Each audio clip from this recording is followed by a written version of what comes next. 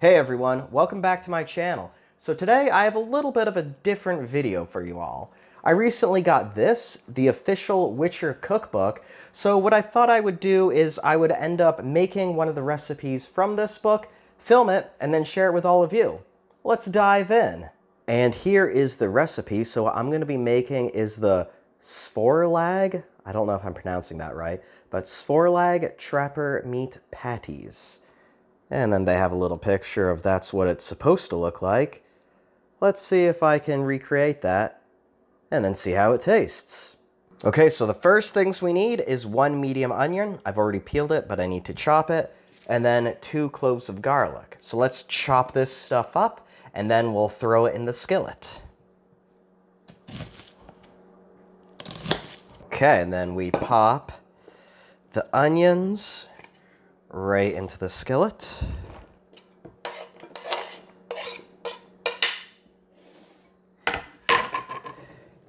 And then the same thing with the two cloves of garlic.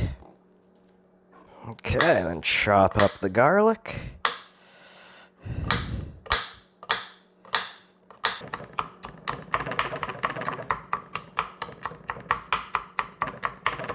And then this goes in the pan with the onions.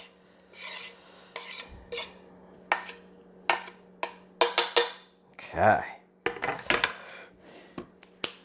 Now we'll add a touch of vegetable oil to this, just so it doesn't stick, like so. And now we'll get this on the burner and saute it up. Okay, we got this stuff on the burner, turn that on, and mix it together.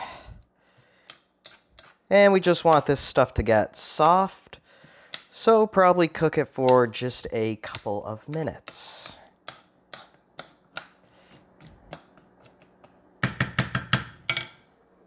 Then I'm just going to add a touch of salt. Not too much though. Give this a good mix because we don't want this to burn.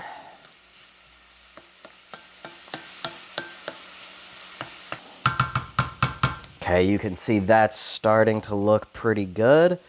The onions are looking nice and loose and translucent.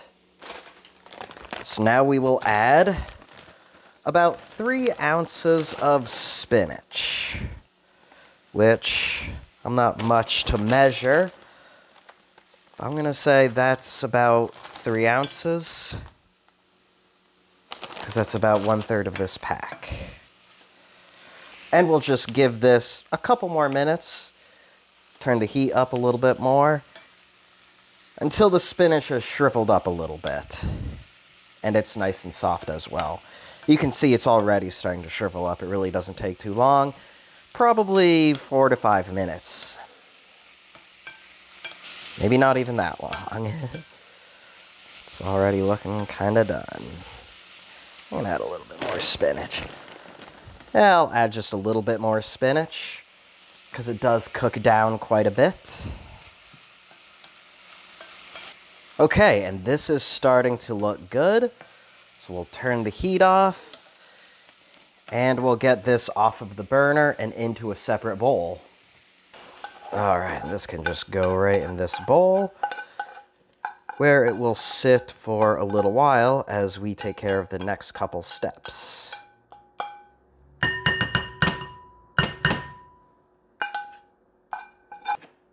Looks good. Okay, for the next step, we got some Brussels sprouts, whoops, which are falling out. Apparently this is already open. we got some Brussels sprouts, so what we need to do is trim these a little bit, take out the outer layer since that's usually a little rough, clean them up, and then we're gonna boil these for about three minutes. So let's chop these up.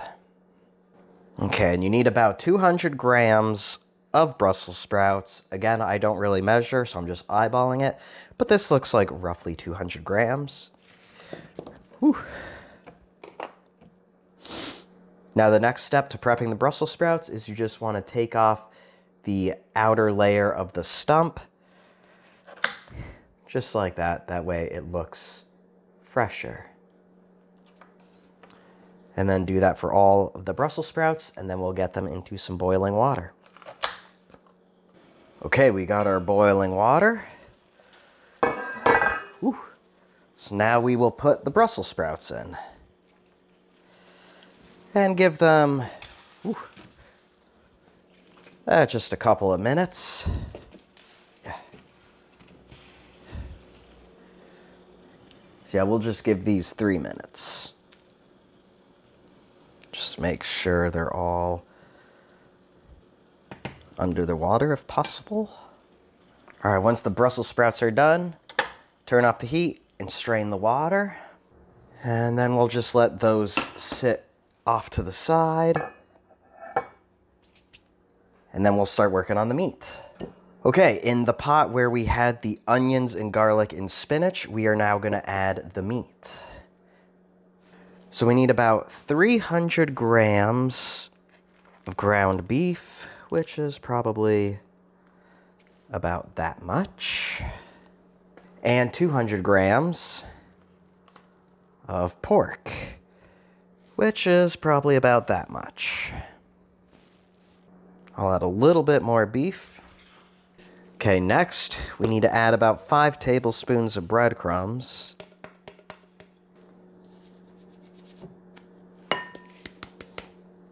That's probably about five tablespoons. And then we'll add five tablespoons of Parmesan cheese. Help if I open this. That's probably roughly five tablespoons.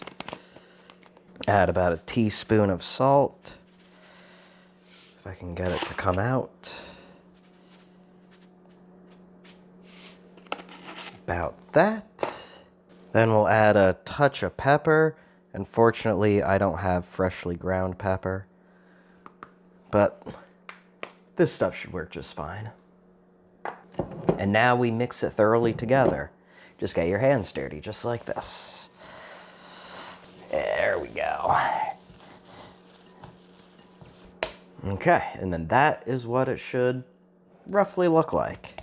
And now what you want to do is you want to form these into little flat meatballs, about two inches in size, and then roll them in some fresh flour, and then we'll get it back on the skillet and cook them up. So let's roll these up. So about that size, you see I have it roughly flat, but about two inches. And then we'll take this and roll it in the flour. And voila. Then we'll just put these on our skillet and cook them up. Okay, and we'll start cooking the meat. I'm using the same skillet. I'm just going to add a little bit of vegetable oil to this. That way they don't stick. All right, and then as the meat cooks, what you want to do is you want to make sure you keep flipping them that way they cook evenly. It'd be easier if I had a bigger pan, but that's okay. Okay, and while the meat is cooking, I'm taking the Brussels sprouts and just cutting them in half like that.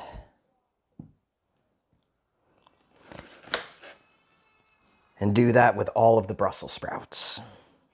Okay, and then once it's been about three minutes per side, Add some water.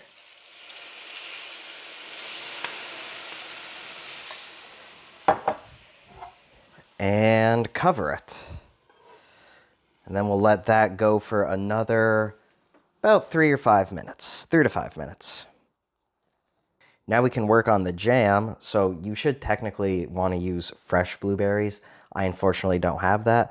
So I just have these frozen blueberries. And I'm just going to mash these up just a little bit. They are still a little frozen, so it's kind of hard. I just do a, a very light mashing. Yeah, something like that. It's about one cup of blueberries. And then you'll just want to put this into a pan, or a pot, excuse me, like so. And then add about, we'll say, two tablespoons of plum jam to the blueberries.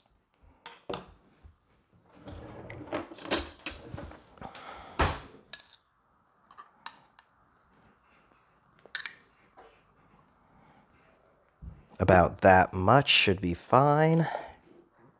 A little bit of butter, maybe about a teaspoon. Throw that in there. Add a little bit of salt.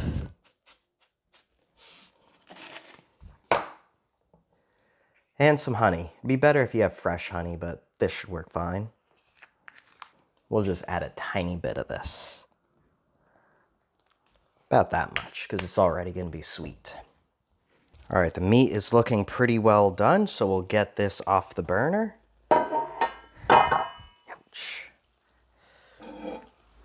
And just put them on a plate and get them out of your way for right now. Okay, and then the last step for the Brussels sprouts. Add a little bit of vegetable oil back into the pan that the meat was cooking in. And just put the Brussels sprouts right in there. with about one teaspoon of butter as well. All right, and then we just want to cook these up until they start getting a little bit brown. Give it a good toss like that. Keep them moving so they do not burn. We'll add about one teaspoon of apple cider vinegar. A little bit like that.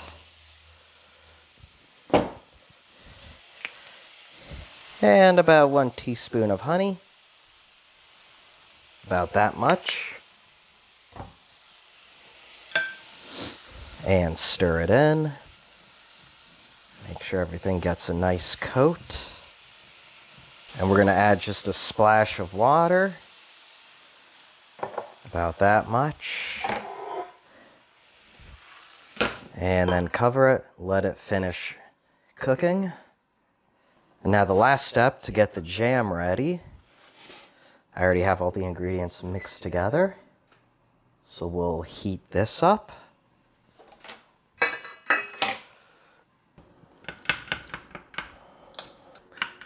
And the jam should take about 10 minutes or until it has thickened up. Okay, and the Brussels sprouts are done, so we can get these off of the heat.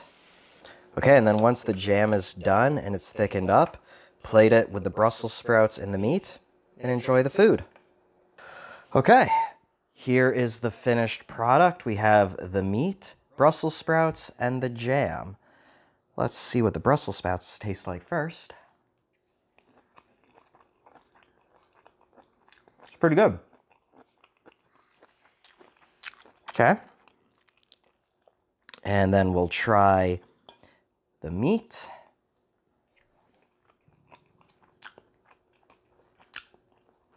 Oh, yeah. Yeah, that's very good. Let's try a little bit of this jam as well.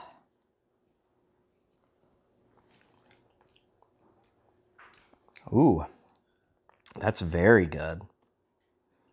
Maybe try some of the jam with the Brussels sprouts.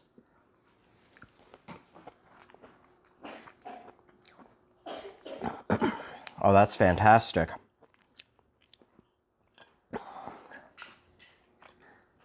Yeah, it's absolutely amazing. So yeah, like I said, I got this recipe from this, the official Witcher cookbook. It has a lot, a lot of recipes in it, at least a couple dozen, maybe even close to 50 recipes total in this book. What's really interesting about this though, is, you know, it's obviously a cookbook, but there's also a story incorporated into all of these recipes as well because it follows this woman as she travels to you know different places in the continent and learns about all the different recipes and then she essentially wrote them down for us to uh to try. So yeah this is uh if you're a fan of the witcher book series the television series the video game series i definitely recommend checking this out I mean, I absolutely love this meal. I think it's really fantastic. And this is the only one I've tried so far. There's a lot more in here that I would like to try in the future. But I also really like all the artwork that they included in this as well. Really, really well done. But yeah, that's it for right now. If you all want me to try making another recipe in the future from this book, definitely let me know um, because that is something I would like to do. This was really fun for me to do, and I know it is a little bit different from my normal YouTube videos. But yeah, let me know what you all think in the comments down below. Thanks for watching. Oh, and one more thing. So my one-year-old, who's very picky with food, as all one-year-olds are, actually really enjoyed this meal. He doesn't eat much meat, but that meat he actually ate and he really enjoyed it and he really loved the plum jam as well. So, you know, high praise from him.